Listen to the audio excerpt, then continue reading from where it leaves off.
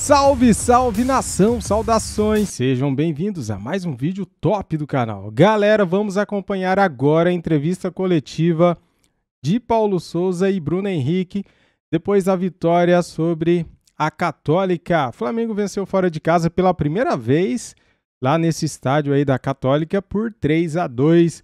Foi o final, foi o placar final do jogo, né? Quebrou o tabu, né, cara? Jogou bem, jogou mal. O que que você achou? Quero que você comente aqui o que que você achou do jogo do Mengão. Eu vou dar o meu ponto de vista depois que o Paulo Souza e Bruno Henrique falarem, tá bom? Então, quero pedir aí a sua força para ajudar o nosso canal aqui, ó. Deixa o like. Se você é novo aqui no canal, inscreva-se no canal, seja bem-vindos e faça os seus comentários aí, fique à vontade. Vou ler depois, hein? Olha lá o que que você vai escrever aí. Tá bom, galera? Então vamos lá, quero dar os créditos de vídeo aqui para a Comebol TV, link na descrição, e também ESPN Brasil, link na descrição. Simbora, depois do Paulo Souza eu falo. Do campo disseram que o Gabi te chamou para dividir esse prêmio do Man of the Match. Queria te perguntar qual é a sensação de voltar ao, aos gramados depois de um tempo fora e também dividir esse prêmio com o Gabi, que é um grande parceiro seu, dupla sua no Flamengo. Obrigada. É Boa noite, muito feliz por ter voltado. E o mais importante foi não ter sentido nada. Esse era o meu pensamento, juntamente com a comissão e com todo o departamento médico. Queria agradecer ao departamento médico do Flamengo, o pessoal da fisioterapia, é, me condicionaram para estar nesse jogo aqui, porque a gente sabia é, que seria um jogo muito difícil. E eu me preparei bem para poder ajudar dentro de campo. E agradecer o Mister também, que veio conversar comigo hoje, me deu total confiança, falou que queria começar comigo. Eu falei com ele que poderia contar comigo, que eu ia dar o meu melhor. E agradecer ao Gabi pelo, pelo prêmio, né? Ele me deu o troféu. É, o Gabi é um parceiro, um amigo que eu tenho desde Santos. Todo mundo sabe que eu tenho um carinho muito grande por ele e ele por mim também e a gente se dá super bem dentro de campo, fora também. Então, estou é, muito feliz pelo desempenho da equipe hoje aqui, que demonstrou é, um caráter muito grande, de personalidade também, de um time vencedor.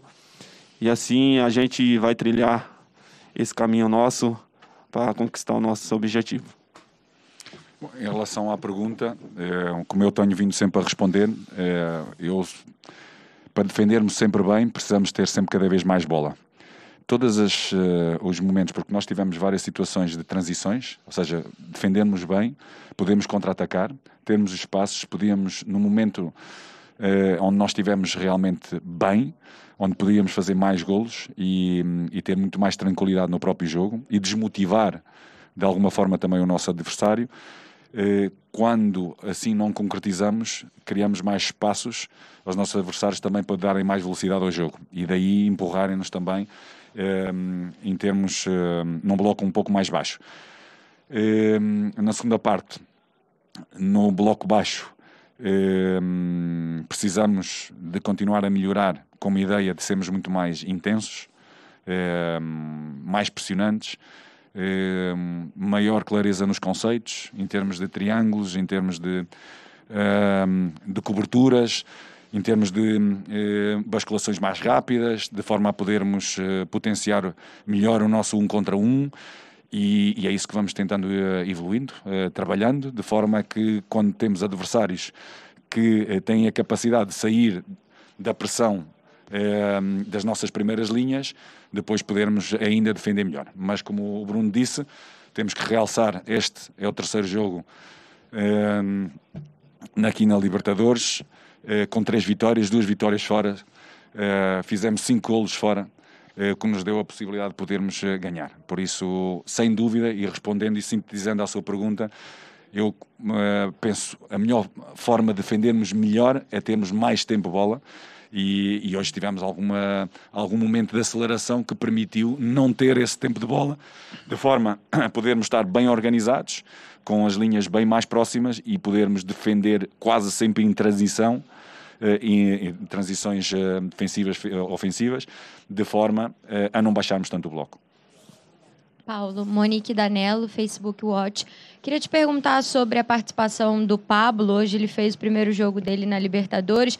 Queria que você falasse que opções você ganha com ele, né? Ele é um jogador que ajuda nessa bola longa. Hoje ele tentou bolas longas interessantes para o jogo do Flamengo. Foi muito consistente defensivamente, independentemente do que aconteceu ali no final. E eu queria que você falasse um pouco, né, sobre essa evolução dele, já que chegou e sofreu com aquela lesão, também sobre a opção que você ganha com ele na equipe.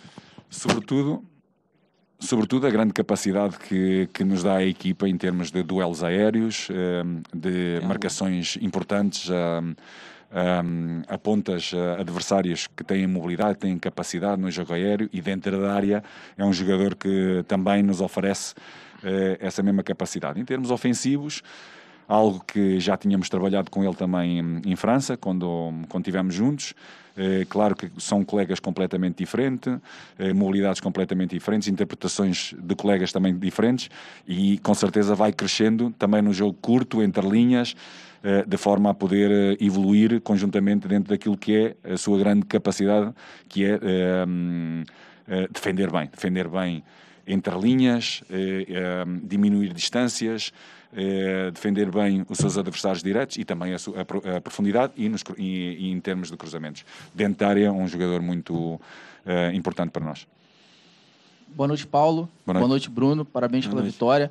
Paulo, é, o João Gomes, ele acabou saindo, né? Ainda no, no intervalo do uhum. primeiro para o segundo tempo. Queria perguntar para você se foi uma opção, se ele sentiu, se ele pediu para sair, algo do tipo.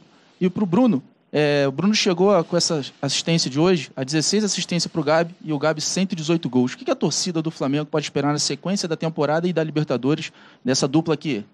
A gente não cansa de falar que está cada vez mais entrosada. Cara, eu acho que é, não só eu com o Gabi, eu acho que todos os atacantes procura sempre estar tá bem para poder ajudar a equipe. É, todo mundo trabalha igual, todo mundo faz o que o Mister pede. E como eu falei, eu e o Gabi já estão uma parceria desde o Santos, né? Isso não é novidade. E por isso a gente cada vez mais consegue se olhar dentro de campo e fazer é, as assistências, os gols. E é isso. Em relação ao João e, e, a todos os volantes, ou seja, dentro do nosso jogo, eh, há uma necessidade física eh, muito grande eh, e clareza também mental no jogo. e não podemos esquecer que o João vem com muitos, muita minutagem acumulada, com muito desgaste físico, também com algumas queixas musculares, exatamente por o volume desse mesmo trabalho e eh, entendemos que precisávamos eh, de, um, de, mais intensidade, mais frescura e tomámos a decisão pelo Andreas, que hum, ultimamente tem tido menos participação, para poder trazer essa mesma intensidade. São, é um posicionamento de, de grande desgaste, de, de grande necessidade de frescura e foi por aí que nós tomamos essa decisão. Paulo aqui. É, eu queria saber sobre as substituições no segundo tempo. Você opta por tirar o Bruno Henrique, o Everton Ribeiro uhum. é, e, entra, e o Arrascaeta e entrar aí né, com uhum. o Pedro. É, teve alguma coisa a ver com condição física, talvez o gramado, ou foi uma opção tática mesmo? Sobretudo por uma opção física. É, um, é, o Everton, é, ou seja, tem-nos vindo a ajudar, tem tentando vindo a recuperar, tem fortes dores musculares em, uh, no, no gêmeo, na panturrilha, não é? Chamo. Uh, e um, procura recuperar para nos poder ajudar. Uh, e hoje foi um jogo uh, difícil também para ele, ou seja, muita pressão, muito jogo de costas, muito contacto também. E um, o Arrasca teve um, uma, uma contusão, uma bota no seu músculo também, ou seja, vimos-lo também com alguma dificuldade em termos e disponibilidade, como tinha tido durante a primeira, a primeira parte. E o Bruno como o Bruno já, já o falou, ou seja, tínhamos eh, perspectivado até menos do que aquilo que ele eh, ofereceu. A equipa, claro que precisa, precisa dele, mas também temos que uh, seguir algum cuidado de forma a podê-lo manter o mais tempo possível a nível competitivo para poder oferecer à equipa. E depois precisávamos, não só no jogo aéreo, sobretudo em, um, em bolas paradas, eh, de ter alguém que nos pudesse ajudar, hum, em, seja em escanteios, seja em livros laterais, como foi o Pedro, e podermos também ter alguma profundidade eh, para podermos fazer chegar as linhas mais de trás, próximos do Pedro, eh, para podermos estar mais próximos da baliza adversária do que na nossa baliza. Foi essa a nossa ideia de, de, nas, nas substituições. Aqui, Paulo, boa noite, boa tudo noite. bem? Logo depois do segundo gol, quando o Gabigol fez, me chamou a atenção ali na comemoração que você puxou o Isla, parece, o, se eu não me engano, o Thiago Maia também, o Pablo chegou um pouquinho perto. Parecia que você estava dando algumas instruções defensivas ali, não sei se de posicionamento, enfim, alguma coisa que você queria. É a sua maior preocupação no Flamengo atualmente a questão defensiva mesmo, como o time se porta defensivamente, já que parece que ofensivamente o time vem fluindo bem, esse equilíbrio que você busca, a preocupação seria mais defensiva e especificamente hoje o setor ali do lado direito do campo te preocupava mais? Não, eu é, normalmente eu não, não dissocio é, os momentos do jogo. E claro que o momento é, da nossa organização defensiva é algo que nós trabalhamos, procuramos melhorar, mas trabalhamos todas as duas transições, a nossa organização ofensiva. Vou repetir aquilo que disse anteriormente para mim, a minha concepção melhor defensiva é podermos ter o mais tempo possível a bola e defender exclusivamente numa transição defensiva, no momento da perda, onde nós estamos organizados a recuperá-la o mais rapidamente possível.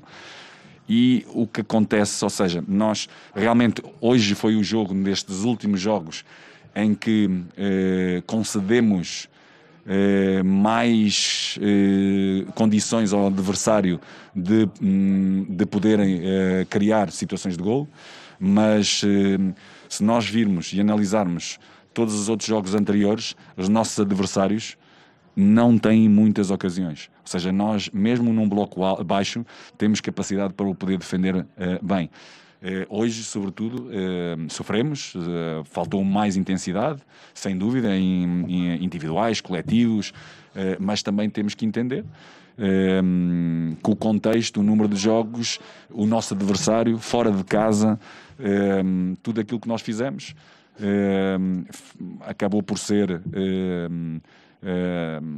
positivo o resultado que nós conseguimos aqui, porque não é, um, não é um campo fácil, não é um estádio fácil, não é um adversário fácil, por mais que possam dizer, não é um adversário fácil, e nós uh, poderíamos, sem dúvida, ter construído o, este, este resultado até antes e dar-nos muito maior tranquilidade para fazer uma melhor gestão do jogo. E isso não aconteceu, ou seja, no nosso melhor momento até acabamos por sofrer o gol. Uh, mas uh, o mais importante foi, um, foi o resultado, foi consolidar aquilo que nós temos vindo a fazer. Última pergunta.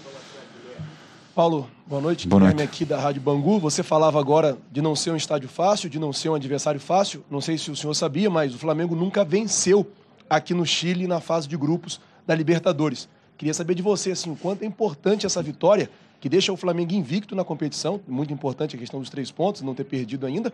O Flamengo pode se classificar já para as oitavas, vencendo o próximo jogo contra o Talheres. Queria saber, assim, para você, para continuar do seu trabalho, tem Copa do Brasil final de semana, brasileiro, que é uma tabela insana também. Essa vitória aqui hoje, esse recorde também que você quebra, Flamengo tendo a sua primeira vitória aqui na fase de grupos.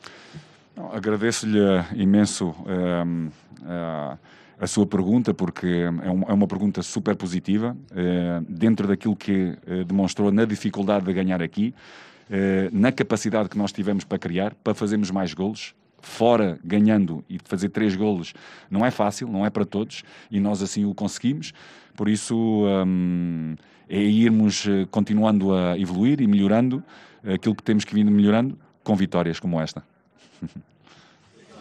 Fim de papo, fim de entrevista de Paulo Souza. Galera, é o seguinte, cara, eu sei que tem muita gente revoltada, muito torcedor revoltado. Só que assim, cara, eu também fiquei na hora do jogo, sabe? Só que a gente tem que começar também a, a analisar as coisas com a cabeça fria. Na hora que você tá com a cabeça quente, você vai analisar as coisas, você fala besteira, né? Pois é, eu sei, muitos torcedores do Flamengo estão revoltados com o futebol apresentado pelo Flamengo, principalmente no segundo tempo. Primeiro tempo foi bom, cara. Bruno Henrique e Gabigol ali, o entrosamento dos dois. Bruno Henrique entrou voando em campo, foi o melhor em campo para mim também. Eu acho que ele jogou muita bola, deu os dois gols ali pro Gabigol, né? Gabigol perdeu mais uns dois gols incríveis, cara, ali que era só fazer, ele perdeu Tá, Gabigol chega a 26 gols na Libertadores e se torna o segundo maior artilheiro brasileiro em Libertadores. Ele só está atrás do Luizão, que tem 29 gols. Já já o Gabigol passa este número aí do Luizão, né, galera? Falta três gols aí para ele passar. O Flamengo jogou bem o primeiro tempo? Acho que sim, jogou bem. Mas Tivemos o gol contra do Isla, né, cara? A bola bate na coxa do Isla e vai parar, sabe onde? No fundo da rede, como vocês viram. Muita gente acha que foi o Arão. Não, o Arão nem rela na bola. A bola bate na coxa do Isla e vai direto ao gol e engana o goleiro, né? Tira a bola do goleiro. No segundo tempo, o Flamengo foi muito mal, principalmente na hora que sai o João Gomes e depois nas substituições do Paulo Souza na hora que ele tira os três, né, cara? Everton Ribeiro, Arrascaeta e Bruno Henrique. Ele tira os três, coloca Marinho, que dá assistência pro Lázaro, que entra também, né, no lugar do Bruno Henrique, e o Diego. Diego nem vi em campo, para vocês terem ideia. Surtiu efeito as substituições? Cara, eu acho que surtiu por causa do gol, mas se você for ver a quantidade de posse de bola que teve a Católica, o Flamengo praticamente não jogou no segundo tempo. Só deu Católica é, jogando no campo do Flamengo, né, cara? Pressionando bastante. Acho que o Flamengo deu uma caída de rendimento monstra depois que saíram os três jogadores do Mengão que eu citei agora. Mas graças ao talento individual, né, cara? Marinho para Lázaro, um golaço do Lázaro, bola no ângulo, indefensável para o goleiro. E Flamengo vence por 3 a 2 o jogo. E os dois gols que eles fizeram foram contras, né? O segundo gol deles foi um gol contra do Pablo. A bola desvia, vai parar, sabe onde? No fundo da rede, sem chance para o Santos. Enganou o goleiro mais uma vez. Cara, vamos lá, vamos tentar ser positivos. O importante nessa fase da competição são os pontos, certo? O Flamengo jogou bem? Primeiro tempo sim, segundo tempo não. Mereceu a vitória? Acho que sim, criou bastante.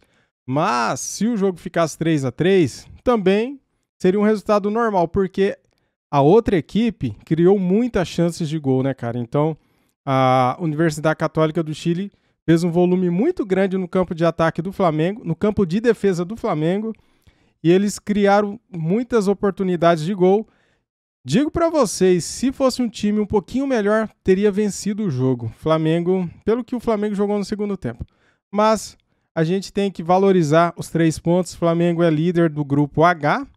Temos nove pontos em três jogos e quebrou o tabu, né, cara? Venceu lá pela primeira vez. Nunca tinha vencido lá no estádio do Universidade Católica. Como tudo na vida, galera, tem os seus méritos e deméritos. Fiz elogios e críticas, mas é isso, é o caminho. Tem muita gente aí que não tá gostando do trabalho do Paulo Souza, entendo por quê. Ele fez as substituições e explicou o porquê, né? Opção física. Ele falou isso na entrevista, então, se ele, tá, se ele falou, tá falado, né? E domingo tem Copa do Brasil, o Flamengo viaja para o Piauí, pega o Altos do Piauí, jogão, hein? Lá em Teresina. Galera tá ansiosa lá esperando o Mengão, com certeza. Quero pedir aí o seu like para ajudar o nosso canal, o nosso trabalho aqui. Inscreva-se no canal também, se você é novo, inscreva-se, seja bem-vindo e Faça os seus comentários à vontade, compartilhe o vídeo, ative o sininho para continuar recebendo daqui a pouquinho ter mais um vídeo legal para vocês. Saudações rubro-negras. Valeu, galera. Fui.